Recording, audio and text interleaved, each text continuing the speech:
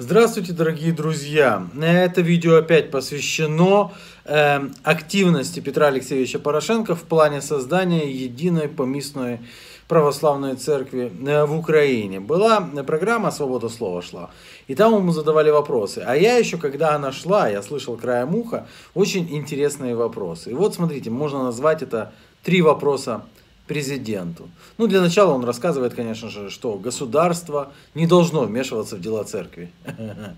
Категорично не має права держава втручатися в церковні справи, тим більше, якщо це держава іноземна. То есть, э, особенно государство там, другое, то есть имеется в виду Россия, не может, а мы можем. Мы можем, потому что что, мы не государство, что ли, или что? Ну да ладно, переходим к вопросу. Вопрос очень грамотный. Пане президенте, дякую вам за таку доповідь. Е, У мене таке питання. Ну, в принципі, е, ви позиціонуєте себе як європейський президент, так? А ми знаємо, що Європейський Союз, одна з його цінностей, це дуже чітке розділення між світською владою і релігійними духовними справами. Тобто релігійні справи це приватні справи. Конечно же, без сомнения, государство отдельно, а церковь отдельно. И никто не лезет туда. Если уж ты назвал себя европейцем, если уж ты говоришь, что мы строим европейское государство, зачем ты туда лезешь?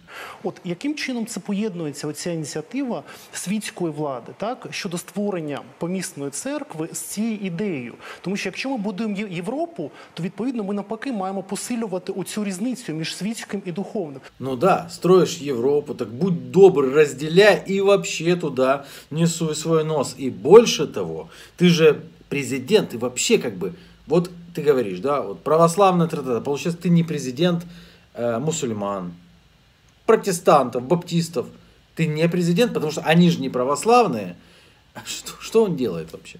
І по-друге, ви ж все ж таки обиралися як президент від різних конфесій і навіть релігійних груп. Я думаю, що за вас голосували і мусульмани, і іудеї. А в даному випадку ви скоріше представляєте себе як певний конфесійний лідер. Тобто, чи не бачите ви тут суперечності? А, Порошенко отвечает. Отримання Томасу передбачають звернення від світської і церковної влади. Але за ініціативи церковної влади. Це все. Звичайно, і зараз ініціативу проявила церковна влада. Вот знаете, в качестве прикола, да? Вот я две недели слышу про Томаса, не могу понять, что за Томас. Кто такой этот Томас? Кто он? і побажання українського народу. Бо абсолютна більшість людей підтримує необхідність створення української помісної автокефальної православної церкви. Все, уже провели соцопрос, уже абсолютное большинство хочет э, вот, э, вот этого вот хочет. Ну все, уже все готово как бы. И это более того, это полностью совпадает с европейскими традициями. Почему? Це повністю співпадає з європейською традицією. Чому так? Бо ми аж ніяк не втручаємося в церковні справи. Я не могу понять. Ну, как это мы не вмешиваемся в церковные дела, если ты постоянно вмешиваешься в церковные дела? Как это мы не вмешиваемся в церковные дела, если президент постоянно говорит о том, что он сам это признает, что он вмешивается в церковные дела? Что? Але є православна традиція. На території однієї держави має бути одна церква. Не, это прекрасная традиция, но получается, что если там стоит какая-то другая церковь, то ее не должно там быть. Не могу понять, что это за традиция такая. А если там церковь тоже христианская, ну опять-таки, может там баптисты, может там харизматы, их надо... Это что, европейская традиция такая? У нас на сьогоднішній день є мінімум три. І це є надзвичайно шкідливо для держави. Вредно для государства, щоб було три церкви на території государства. Європу строїть, по-любому Європу. Ніхто не вірив. Але я бачив, як світилися в очі в людей, які отримали цю надію. Ой, ну это метафоры. Светились лица, там глаза светились. У кого светились глаза? Порошенко вышел к людям, причем там перед ним собралось все 28 миллионов украинцев, и у них у всех светились глаза. Или что, ну, такое, не стоит обращать внимание. Второй вопрос. Это был первый вопрос, а теперь два правильных вопроса. Второй вопрос. І запитання безпосередньо до пана президента. От зараз дуже багато спекуляцій на цю тему, що, мовляв, держава ні в що не має втручатися, але питання світськості і взаємодії із релігіями це два різні питання. А, Хороший вопрос. Сразу же по отмазыванию вмешательства президента в дела церкви. Да? Э, у меня вопрос. Вы знаете, говорят, что вам не надо вмешиваться. Это, это- это почему? Тут же ж ми маємо абсолютно конкретний випадок, коли держава допомагає найбільшій за чисельністю, за всіма соціологічними показниками релігійній групі в нашій державі реалізувати своє право. Это вопрос просто такой. Это Так звучит вопрос от правильных экспертов, парохоботов. Да? Задаешь типа вопрос, но вопроса нет. Ты просто рассказываешь, что государство как раз таки должно помогать создать церковь. Тому я от запитання до шановного пана президента: чи не вважаєте ви, що напевно було би порушенням і недопрацюванням з боку держави, якби вона просто усунулася від цього процесу?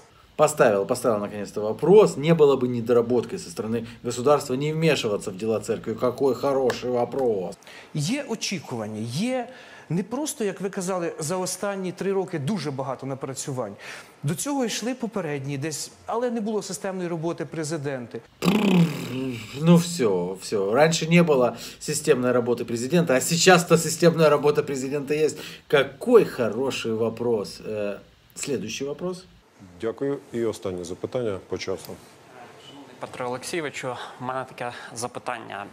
Вас критикують за втручання держави в церковні справи представники тієї держави, точніше, не представники, а прихильники тієї держави, яка розстрілювала священників, е, зруйнувала десятки тисяч церков. До речі, в якій Ай, какой хороший, отличный вопрос, да? По-моему, прекрасный вопрос. Порошенко, не знаю, сможет ли Порошенко ответить на него. до речі, в якій оберпрокурор, тобто чиновник нижчого рівня, 300 років керував церквою. І вас, і, і взагалі Україну зараз звинувачують е, у втручанні в церковні справи. Ну це ж абсурд цілковитий. Отличный вопрос. Вас обвиняют в том, что вы вмешиваетесь в церковные дела. Это абсурд. Хороший вопрос. Ну все, садись. Ты задал же вопрос, нет? Е, я вже не кажу про те, що ви тільки що справедливо е, сказали. Зараз секундочку. А ведущий как бы намекает. Так задай наконец-то вопрос. Хватит облизывать его, вот этого и так уже облизанного со всех сторон. Задай вопрос. Е, Московська митрополія 1448 рік. Київська митрополія 988. 460 років є різниці. Як ми можемо звертатися до них як до церкви основної для нас? При чем тут основная церковь, не основная церковь? Когда Киев был, там лес шумел, вот эти вот все дела, вмешательство государства в церковные дела. Какая разница, у кого церковь э, длиннее и толще? Е, нарешті е, запитання. А, так вопрос все-таки будет, да? Питання. Скажіть, будь ласка, от ви в своїх розмовах е, з різними е, представниками е, різних е, ну, митрополитами і так далі, ви не питали в них, чому, наприклад, патріарх Кирило, який весь час перебуває поряд з Путіним, е, жодного разу не закликав його припинити війну? Сложный, хороший такой, от эксперта настоящего. Парохоботский вопрос. Вы никогда не спрашивали, почему Кирилл не призывал остановить войну? Какой хороший вопрос. Не сказав е, виконати заповідь не убий, не вкради, не побажай поля ближнього свого. Як це так взагалі трапляється? Зрозуміло. Э, Мне кажется, от такого Лиза, даже Порошенко как-то неудобно немного стало. Он как-то так глазки закатил. Но... Дякую вам. Спасибі за Дуже дякую, пане президент, за те, що знайшли час виступити у свободі слова. Президент України Петро Порошенко.